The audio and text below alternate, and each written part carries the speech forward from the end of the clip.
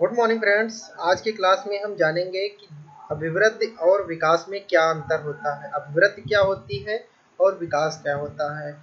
सबसे पहले आपको बता दें अभिवृद्धि। अभिवृद्धि जो है, यह होती है शारीरिक विकास। वृद्धि का अर्थ होता है शारीरिक विकास, यानी कि बालक के शरीर में जो अंतर आते हैं, उसको अभिवृद्धि कहते हैं। विकास का अर्थ होता है, यानी कि जो जैसे चार होते हैं, जो है, जैसे शारीरिक, मानसिक और संवेगात्मक और सामाजिक। ये चार विकास होते हैं, जिनमें शारीरिक विकास जो है वह अभिवृद्धि होता है, बाकी के तीन विकास जो होते हैं वह विकास के अंतर्गत आते हैं। लेकिन विकास जो है, यह एक बहुत ही विशाल रूप है, इसलिए विकास के अंदर ही वृद्धि को शामिल किया जाता है। विकास में हम चारों चीज़ों को देखते हैं। अब आपको बताएँ कि ये दोनों शब्द प्राय एक ही अर्थ में प्रयोग किए जाते हैं, किंतु मनोवैज्ञानिकों के अनुसार इनमें कुछ अंतर होता है। सोरेंसन ने कहा है कि अभिवृद्धि शब्द का प्रयोग प्राय शरीर तथा अंगों के भाग तथा आकार में वृद्धि के लिए किया जाता है। सोरेंसन महोदय कहते हैं कि अभिवृद्धि जो है, इसका अर्थ होता है कि बालक के शरीर, उसके अंग और उसके भार और आकार में यानी जो वृद्धि होती है, उसको अभिवृद्धि कहा जाता है।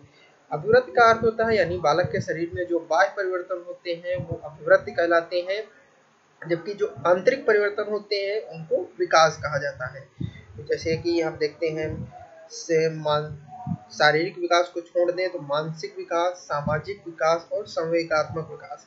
ये सभी हमें दिखाई नहीं पड़ते हैं, ये आंतरिक होते हैं। जबकि जो शारीरिक विकास है, या बाह्य होता है, या बाह्य परिवर्तन होते हैं, इसको अभिवृत्त कहते हैं।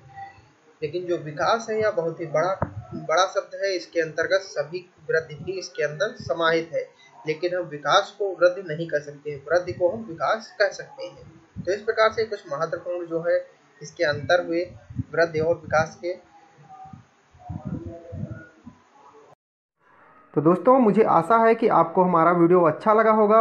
अगर वीडियो अच्छा लगा हो तो वीडियो को लाइक कर दीजिएगा, लाइक बटन को प्रेस कर दीजिएगा और वीडियो को शेयर कर दीजिएगा अपने दोस्तों तक, अपने फ्रेंड्स तक व्हाट्सएप ग्रुप्स के माध्यम से व्हाट्सएप के माध्यम से और फेसबुक के माध्यम से।